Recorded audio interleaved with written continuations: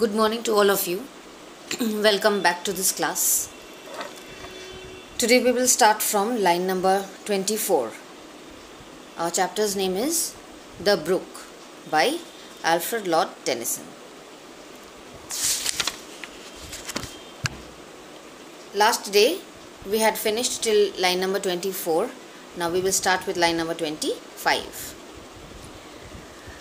I wind about and in and out, with here a blossom sailing, and here and there a lusty trout, and here and there a grayling, and here and there a foamy flake, upon me as I travel, with many a silvery water break above the golden gravel, and draw them all along and flow to join the brimming river.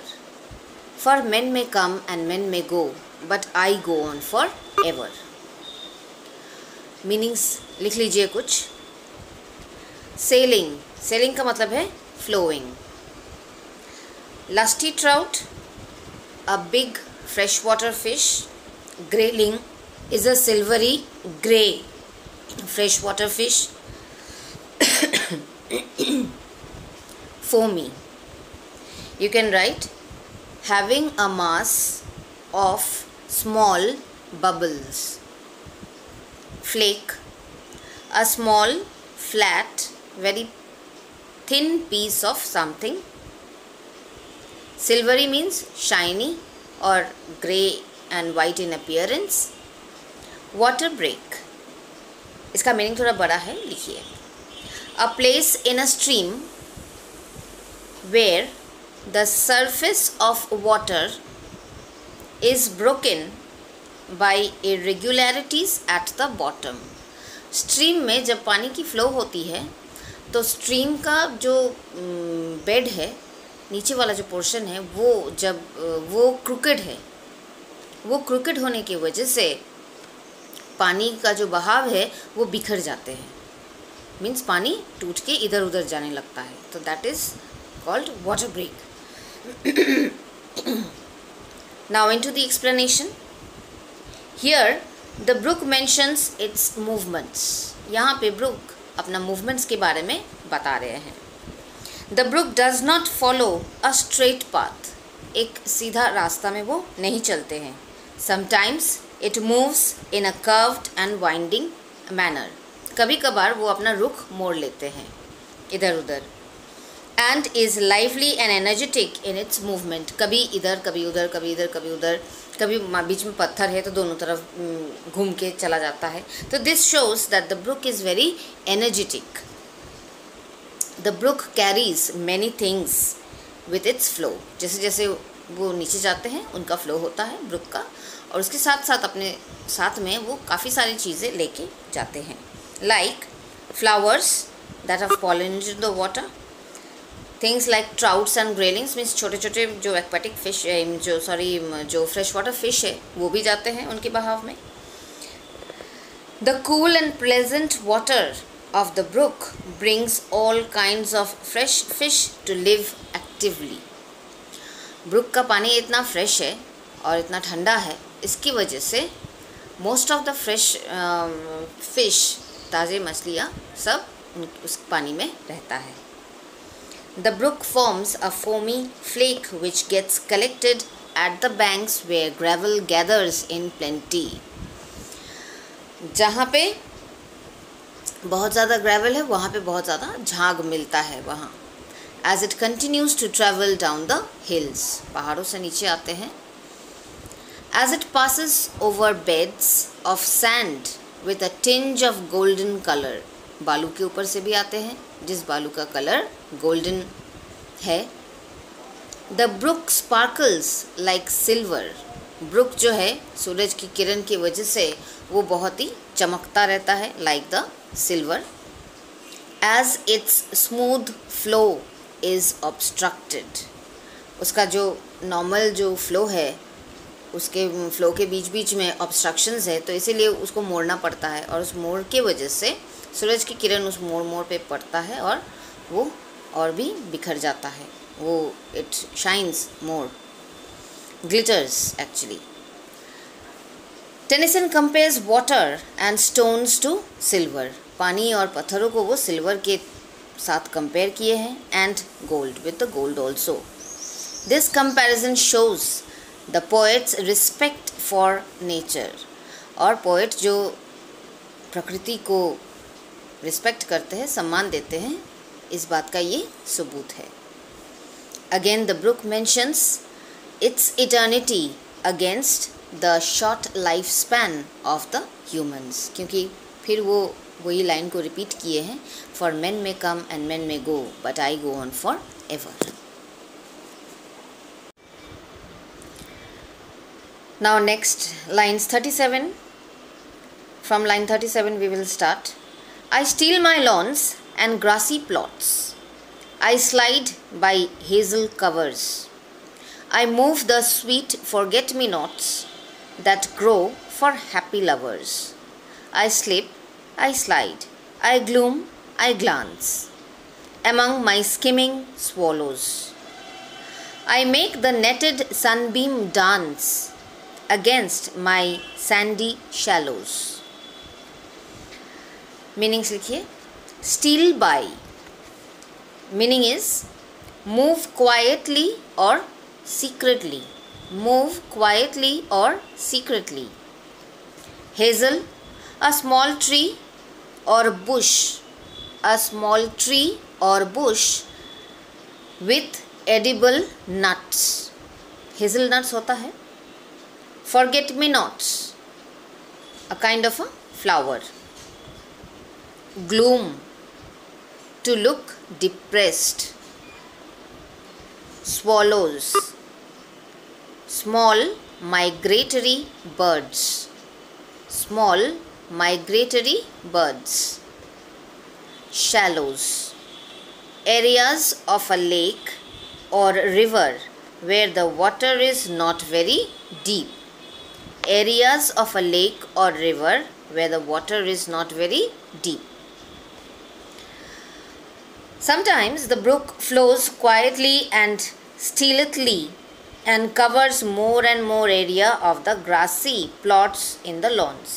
कभी कभार बहुत ही quietly बहुत ही secretly वो चलते रहते हैं covering the grassy plots in the lawn here the movement is silent and calm यहाँ पे बहुत ही साइलेंट वे में और बहुत ही कामली कामली मतलब पीसफुली ब्रुक का मूवमेंट होता है। The brook now gracefully moves on by clusters of hazelnut hazelnut के गुच्छों के बीच में से वो गुज़रते हैं। एज इट एडवांसेस जैसे जैसे आगे बढ़ते हैं it sways the sweet forget me not plants which are made for the happy lovers जैसे जैसे चलते हैं, वो अपने साथ साथ फॉरगेट मी नॉट्स को भी थोड़ा सा क्या बोलते हैं, वो स्वे कर जाते हैं। स्वे का मतलब है लाइक झूला पे बैठ के जो जो मूवमेंट होती है that is known as swaying it slips slides glides and glances and dances to swallows hunt for their food from the fresh water of the brook in the morning when the sun starts shining its surface reflects the glare of the sun. सुबह सुबह जब सूरज उगता है, उसका किरण जब उसके पानी में पड़ता है तो वो और भी ज़्यादा चमकने लगता है। Sandy shallows refers to the part of the brook which is not very deep and contains a lot of deposited sand and silt जहाँ पे ब्रुक का पानी ज़्यादा नहीं है, वहाँ पे सूरज की किरण जब पड़ती है तो नीचे का, नीचे तक हम, हमें दिखाई देता है। Here the poet has drawn a comparison between the Brook's journey and human life brook की जर्नी और हमारी लाइफ का एक कंपैरिजन उन्होंने किया as humans face difficulties and happiness through their life so does the brook sometimes face curves and sometimes flows through flowery valleys जैसे हमारे जीवन में अप्स एंड डाउन्स है ठीक उसी तरह ब्रुक की ज़िंदगी में भी कर्व्स है और कभी कभार क्वाइटली वो ग्रासलैंड से लॉन से और फ्लावरी वैली से भी गुज़रते हैं हम भी दुख सुख के साथ जीते हैं ब्रुक भी सेम चीज़ ही करते हैं I murmur under moon and stars. In brambly wilderness, I linger by my shiningly bars.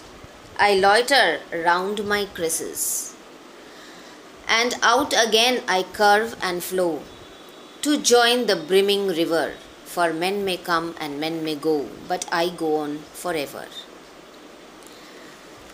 Meanings लिखिए brambly wilderness an area densely covered with trees and shrubs. I am repeating. An area sorry. An area densely covered with trees and shrubs. Linger. Stay in a place for long. Or you can write for uh, stay in a place longer than necessary. Shingly covered with small rounded pebbles. Loiter. To stand or walk around. Cresses. Strong smelling leaved plants like cabbages.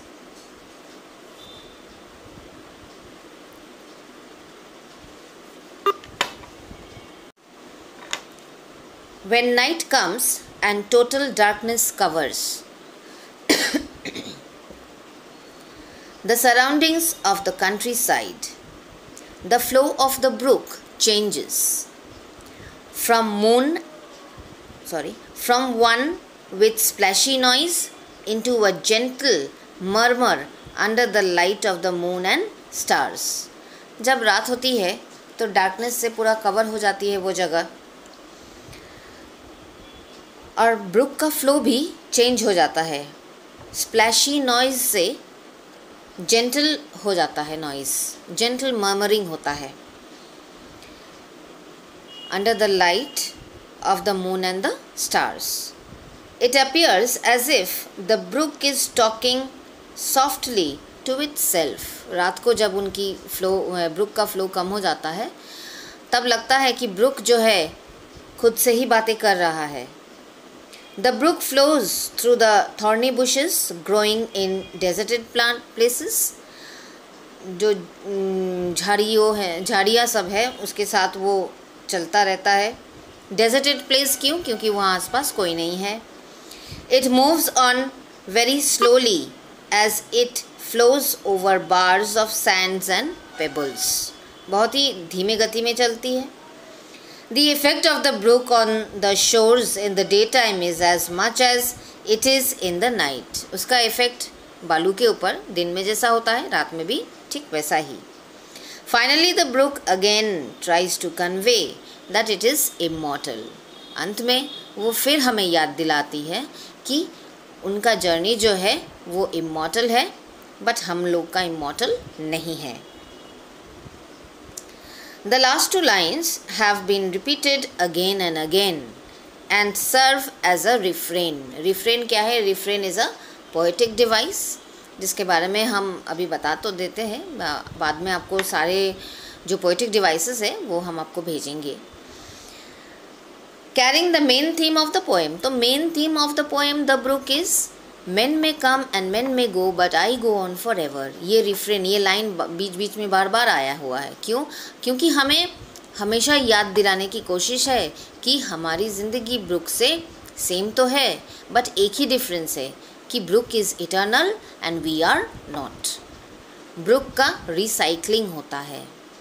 लेकिन हमारा जन्म है तो मृत्यु है। hmm. Which is that human life is transient जो मैंने कहा whereas nature is permanent and will last for ever और हमेशा ये याद याद वो दिलाते हैं कि नेचर इज़ परमानेंट उसका कोई फेरबदल नहीं होता है। बट हमारी ज़िंदगी परमानेंट uh, नहीं है। It is temporary and we have life as well as death तो मॉरल मैसेज क्या है? मैसेज ये है कि ब्रुक का ज़िंदगी में अप्स एंड डाउन्स है। हैप्पीनेस एंड सोरो है। जब वो खुश होते हैं तो ग्रीन लॉन्स फ्लावरी बेड के साथ वो जाते हैं। वो खुश हो जाते हैं। But there are hurdles there are obstructions उनके चलने के रास्ते में पत्थर भी है, जहाँ पे उन्हें कर्व लेना पड़ता है। और अपनी ज़िंदगी में साथ, ज़िंदगी के साथ वो काफ़ी सारी चीज़ों को लेके चलते हैं। लाइक फ्लावर्स है, आपने देखा फ़िश है। बहुत सी ऐसी चीज़ें उनके साथ चलती है। ठीक, हमारे ज़िंदगी में भी हम अपना टोटल लाइफ स्पैन में बहुत सारे लोगों से मिलते हैं, बहुत सारे लोग हमें छोड़ के चले भी जाते हैं बट हमें आगे बढ़ना होता है। We also face ups and downs in our life हम कभी खुश तो कभी दुखी होते हैं। तो इसका मतलब ये नहीं कि जब हम दुखी हो जाए तो हमेशा रोते रहे, या हम जब खुश हो जाए तो दुख का परवाह ही ना करें, ऐसा नहीं है।